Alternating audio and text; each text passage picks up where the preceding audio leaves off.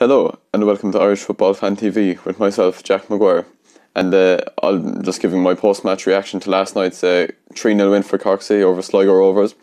I was lucky to be at the game last night, and uh, despite the conditions, the heavy rain, it was an incredible game. It was very exciting, and obviously, Cork City uh, picked up a valuable three points at home.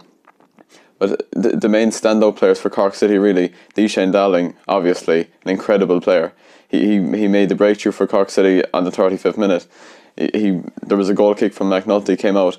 Kit Elliott, one of the new signings as well, managed to break the ball down. He controlled it and he played it off to Dowling, who made a run right towards the box and he cut to the right.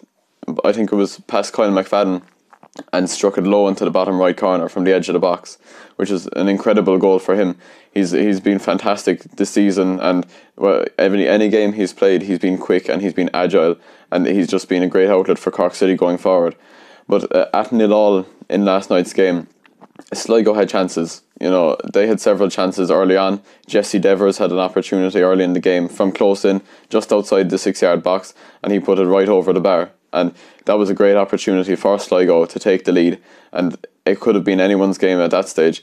But uh, City held tough. City were solid in defence last night. Joe Oliver was very, very good. And Alan Bennett, they steadied the ship at the back and they made it they made it easier for their teammates. There was opportunities, there was options coming out of the fence, which was great to see uh, on Long at Longford uh, on Tuesday night. It was clear to see Olowu wasn't very happy with some of the options his teammates were giving him, but last night everything seemed to work very well for them. And Kit Elliott, uh, the new signing with Scott Fenwick, were fantastic up front. Elliott had a penalty shout early in the game uh, as he came towards the, the goal. He was about four or five yards from goal and he went down and uh, the referee came in and gave him a yellow card uh, for diving, which it, it, seemed like an obvious penalty, but uh, the referee obviously thought otherwise. But that didn't bother City as they went on.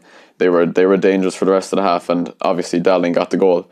But uh, Ronan Coughlan was very very dangerous for uh, for Sligo as well last night he was running into channels. He was making options for his teammates out the left and the right, and he was he's very fast, as you know, and he's he was incredible getting onto long ball down the wings, and he was making options. He was making space for his teammates and Ryan De Vries, and he was making runs and he was playing one two passes, and it seemed to work a very good system for Sligo. They were just unlucky not to capitalise on some of the chances they had, and it was obviously Cork City who were the, the more solid team going forward. There was very free flowing attacking football for full 90 minutes. Cork were very solid, Sligo were solid, obviously, going forward, but just City were able to take their chances when it mattered.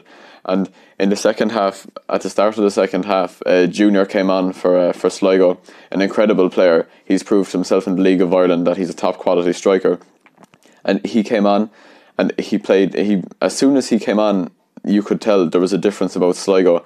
They were a more confident team. They were steadier on the ball, and they, they seemed to attack with more aggression. And when he got the ball, he was breaking down high ball at the edge of the box and inside the box. He was playing one twos with his teammates, uh, making space for them, playing them into space, and for a while it did look like maybe uh, Sligo would get an equaliser as that was at one or one 0 that uh, that Junior came on, but uh, it was City took advantage and they kept pressing high and they kept uh, attacking and uh, in fairness to them they were very solid. They used every man. Every man put in a shift last night. Henry Ochieng in midfield, Cian Coleman, very solid, winning ball deep in midfield and playing ball up there was great options for them. Any ball that went up, it was met by, by Kit Elliott more or less uh, a lot of times, and uh, Scott Fenwick was fantastic as well. But uh, Kit Elliott actually uh, on seventy five minutes he won a penalty for himself uh, at the shed end, and um, he was turning inside the edge of the six yard box, and he was just clipped and went down. And uh, he dusted himself down and he stood up to take the penalty and he cool, coolly slotted into the bottom left corner his first appearance for Cork City and scored an incredible penalty. So that was his first goal. That was 2 0. And Ricardo Dinanga, Tuesday night's uh, Cup hero, he scored 120 first minute winner for City on Tuesday night. He came on towards the end of the game. And as soon as he came on as well, he was very quick. As we saw last night, he was running into space. He was making options for his teammates, and he wasn't afraid to take a man on, which was which was great. Great to see attacking attacking play like that. And he was making space he was getting onto ball, and Dowling made a run across the box. He caught in past a couple of defenders, and he got space at the edge of the box, and it, it ran the ball ran away from him, and the Dinanga hit it first time first time snapshot into the bottom right corner.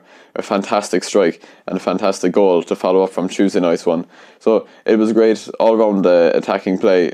Every every player uh, put in a great performance for City. Sligo were a very good team last night as well. It wouldn't be fair to take anything away from Sligo. The the scoreline maybe doesn't suggest uh, how solid they really were but uh, the City definitely took their chances and they capitalised on Sligo mistakes, and that's what ultimately got them the three points. Everyone was happy after the game, and it was a it was a fantastic game to be at, and there was a good a good atmosphere despite uh, the lack of fans in there. But overall, it, it was a great game, and great to see from myself that uh, Cork City pick up three points um, and and their second win in a row. So th- that's that's it from me now for this week. Uh, I'll, I'll be back at the cross for the, the next action there with Cork City in the next few weeks. And uh, thank you for watching and uh, let me know what you think in the comments.